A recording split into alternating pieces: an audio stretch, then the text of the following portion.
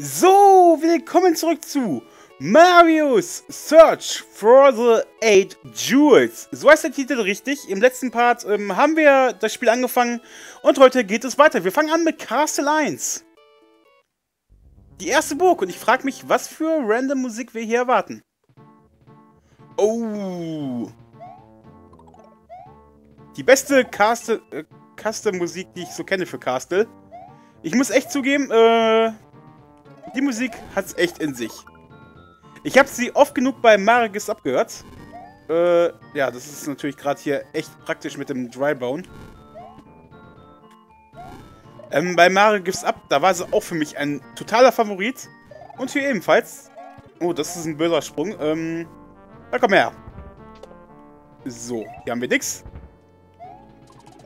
Aber wir kriegen hier auch alles mögliche an Gegnern gerade auf den Hals geworfen. Wobei ich sagen muss, die Yoshi äh, Island Grafik gefällt mir auf jeden Fall. Dennoch gefällt mir... Unsichtbare Kettensägen gefallen mir gar nicht. Das war ekelhaft. Ihr habt es auch gesehen, oder? Also das unsichtbare Viech.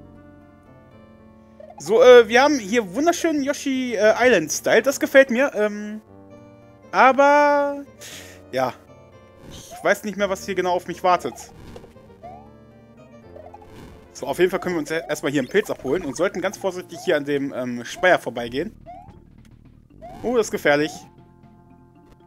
Das ist noch die erste Burg und von daher nicht so schlimm. Wenn man groß geblieben ist, konnte man sich hier ein paar Münzen abholen. Als Anleihe, an, als Anleihe vielleicht an New Super Mario Bros. 2. Ich weiß es nicht. Huch! Was war das denn jetzt? So, unser Gegner ist ein Lucky Two. Das lief gerade nicht. Alter.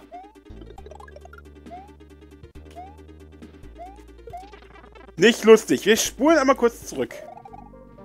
Sorry, aber das war nicht lustig. Da es hier alles Custom-Box-Bosse äh, sind und vielleicht nicht ganz durchdacht wurden, äh, werde ich eventuell äh, Safe State vor jedem Boss auf jeden Fall machen. Denn da kann man nie genau ja, sicher sein. Guckt mal an, wir brauchten nämlich drei Blöcke und durch unsere Dummheit sind zwei kaputt gegangen, durch die Spinies sind zwei kaputt gegangen und wer Mathe kann, weiß 6 minus 2 minus 2 gleich nicht 3. Oh, ein roter Juwel, der rumhüpft.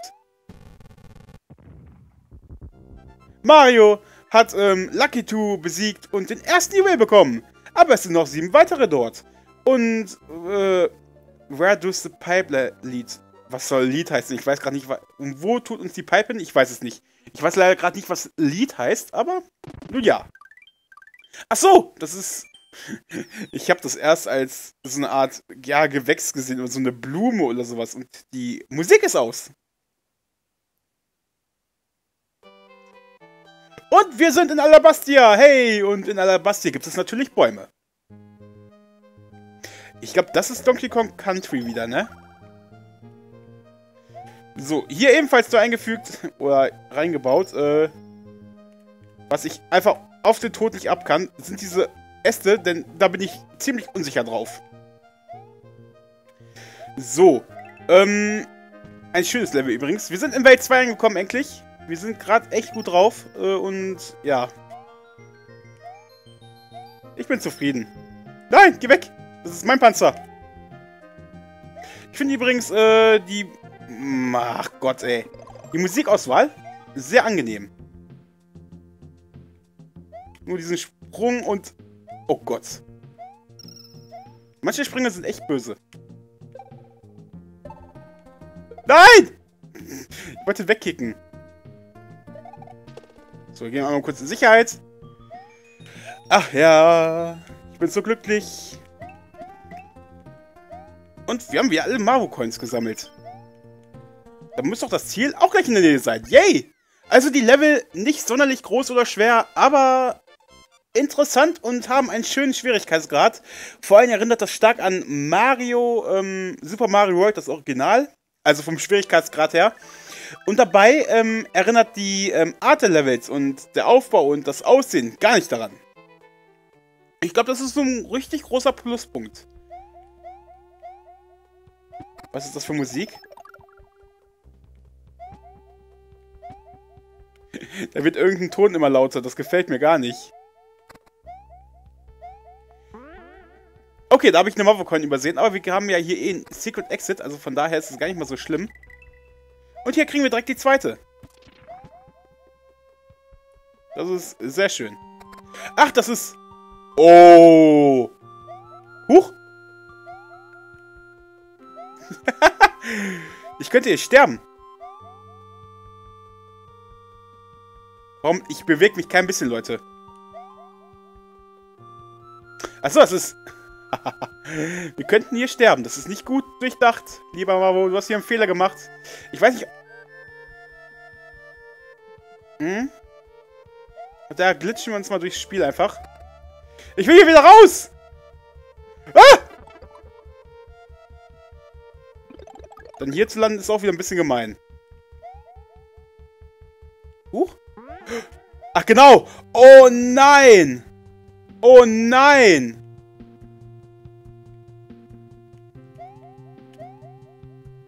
Danke.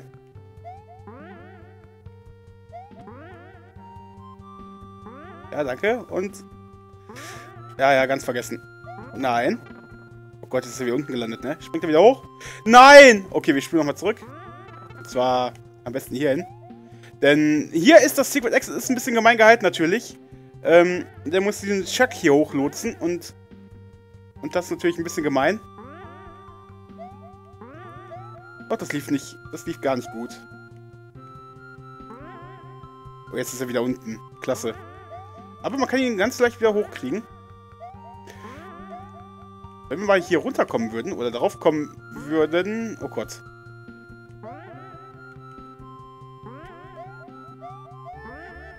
Er kommt ja nicht mal hoch. Ist es denn? Also ehrlich, ey. Lieber Chuck, du weißt genau, was dein Ziel hier ist. Töte mich!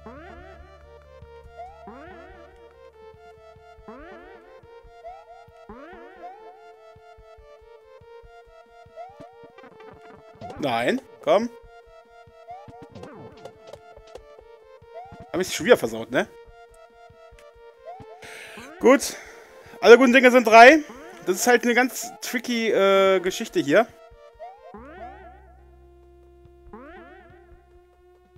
Gut. Es klappt einfach gerade nicht. Okay. Ja, wie gesagt, das ist eine ganz ekelhafte Geschichte hier eigentlich. Denn man muss diesen verdammten Chuck hier hinlotsen. Und ihn die Tür aufmachen müssen. So, das ging doch. Das lief doch beim Alle guten Dinge sind drei. So, und wenn wir diesen Chuck haben, dann können wir hier rein und... Mein Gott, ey, habe ich mich verjagt. Ich wollte gerade gucken, ob ich oben durch die Ecke wieder glitschen kann. Und habe dabei aus Versehen das Ding aktiviert. So, The Tiny Tower. Später. Wir wollen hier noch in Brown Cave ähm, das andere Exit sammeln. In dem Level, in die Musik äh, von Donkey Kong Country spielt. Ich glaube, Mavo mochte die Musik. Kann gut sein. Jetzt habe ich natürlich das äh, Bedürfnis, ähm, alle Ecken zu durchsuchen, ob ich hier vielleicht irgendwo durchfalle. Aber ich glaube, ich sollte es lassen. Warum ich die Pflanze gerade nicht gesehen habe. Warum habe ich die Pflanze gerade nicht gesehen?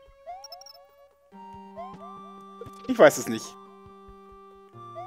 So, übrigens auch äh, schöner Trick hier ähm, mit den äh, Vines. Also die Vines, ähm, wenn die hier hochgehen, dann geht das Seil hier weg, weil die Wein frisst das Seil mit auf.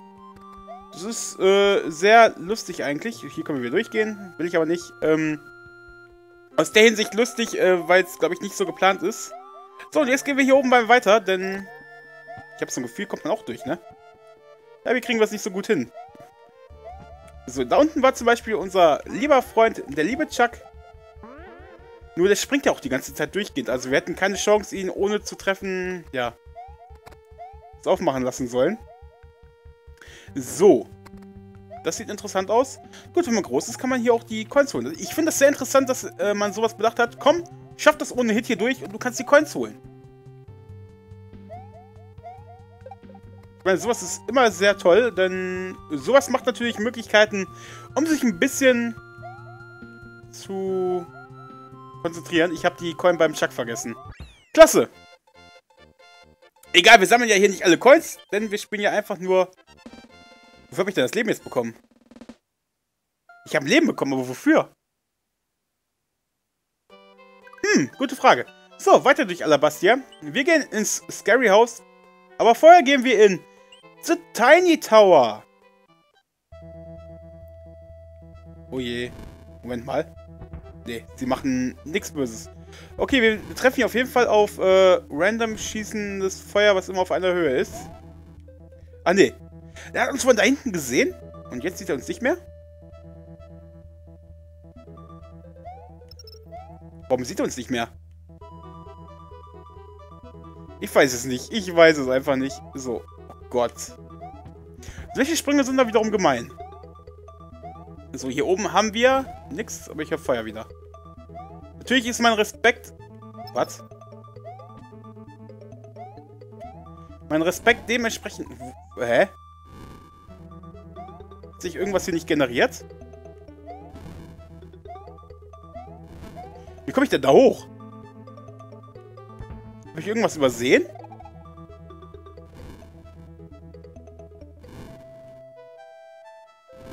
Die können mir sagen, was ihr wollt, aber was habe ich denn übersehen?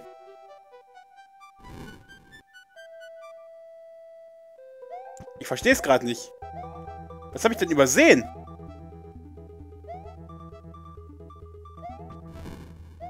Äh, entweder ist hier irgendwas äh, nicht ganz äh, erschienen, so wie es soll.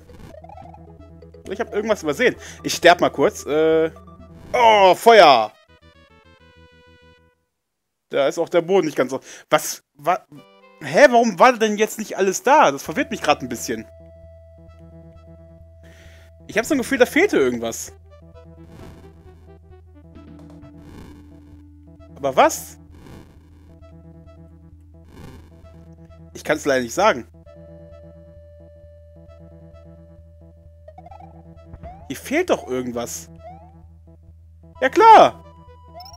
Wie soll ich denn da hochkommen? Wir sind keine unsichtbaren Blöcke, oder? Nö. Lieber Mabo 7, was ist das hier? Das verwirrt mich gerade ein bisschen.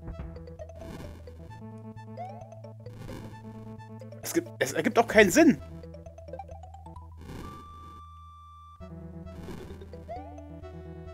Ich sehe einfach keinen Zusammenhang. Was soll denn hier sein? Gut, Leute. Dann werde ich es so machen. Äh, das Level werde ich erstmal auf... Jetzt schießt ja kein Feuerwehr. Das ist sehr interessant. Ähm, eventuell werde ich dieses Level auf später verschieben. Und werde dann mir hier ein Springboard hinstellen. Die Frage ist nur, wo ist das denn hin? Ich denke mal, hier war ein Springboard, was uns da oben führt. Oder? Oder sehe ich irgendwas gerade nicht richtig und es ist unsichtbar, aber es ist ja nichts. Hm. Es ist auch nichts irgendwie unsichtbar, weil vielleicht zu viele Sprites drauf sind. Nein, das würde man ja auch merken. Gut, dann sterben wir nochmal. Was auch immer mit dem Level hier ist, irgendwas stimmt hier gerade nicht. Warum ist da kein Springboard? Wie gesagt, ich werde mir eins da hinstellen und das später machen. Jetzt gehen wir erstmal ins Scary House. Ich verstehe es echt gerade nicht, warum.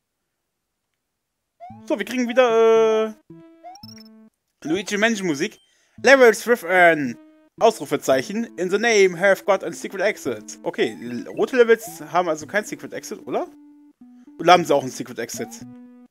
Ich weiß es gerade nicht. Auf jeden Fall weiß ich gerade, dass das eine Level, was wir gerade besucht haben, äh, nicht mal ein normales Exit hat. Denn sonst hätten wir es ja bestimmt gefunden. Hm, das ist zwar riskant gewesen, aber im Endeffekt bringt es uns zu einem Ziel. So, hier, hier könnte man doch durchgehen, oder? Nein, kann man nicht. Okay. Ach, hier kann man runter. Okay. Hier muss man sogar runter. Das Leben interessiert uns jetzt gerade mal erst wenig, ähm, denn, ja. Da habe ich das Secret Exit gesehen, also das Schlüsselloch. Ich denke mal, da kommen wir runter, wenn wir hier so lang springen. Ist natürlich die Frage, da. Ha, wir haben keinen Schlüssel. Es ist nicht dein Ernst, oder? Komm her, Geist. So, wo haben wir den... Darum haben wir den Schlüssel. Okay. Was wir machen müssen, ist klar. Schlüssel holen, runterspringen. Hier runter und Secret Exit. Das war wieder einfach. Das war sogar komplett durchdacht. ob sich da vielleicht irgendwas am... Ich muss gerade echt überlegen, was da mit dem Hack passiert ist, warum da am Tiny Tower das Sprungbrett fehlt. Vielleicht hat sich da irgendwas verglitscht. Weil ich irgendwann... Ich, ich meine, es gibt es echt, ähm, das habe ich schon ein paar Mal gesehen, dass sich durch irgendeinen Fehler hier etwas verglitschen kann. Ähm, und dann am Ende das Level nicht machbar ist. Das habe ich damals, als ich selber ein Hack erstellt habe. Ähm, ich habe ja nicht lange ein Hack erstellt. Ich habe, glaube nach der ersten Welt habe ich, glaube ich, aufgehört. Und da ist es mir, ähm, ich glaube, zweimal passiert, dass ich ein Item weggeglitscht habe. Jetzt gesagt, ungewollt, aber ja. So, keine Lust zu warten. Und wir sollten auch vorsichtig sein, denn wir wollten, wir wollen nicht in die Eries reinlaufen, aber trotzdem alle Coins haben. So. Und dann wollen wir Blöder Buhu. Hier durch die Tür gehen.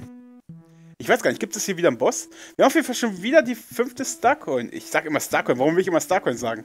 Yoshi-Coin. Und die Mavo 7 Coin. Hier kriegen wir sie.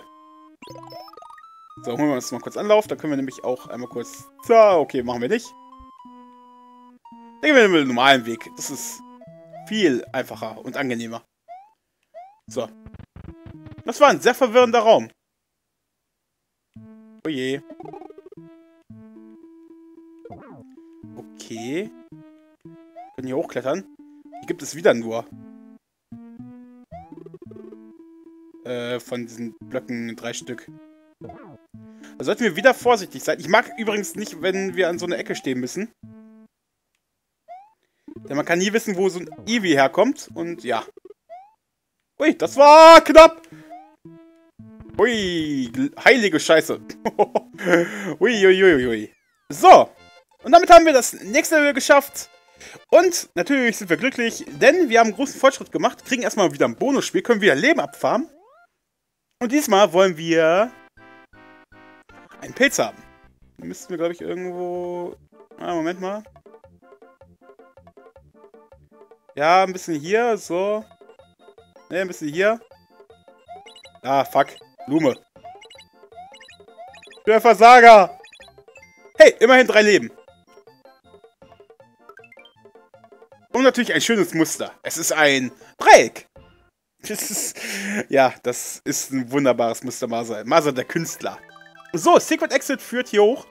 Leute, im nächsten Part, wir haben hier einen wunderschönen Overworld übrigens. Äh, ja, Welt 2 weiterhin.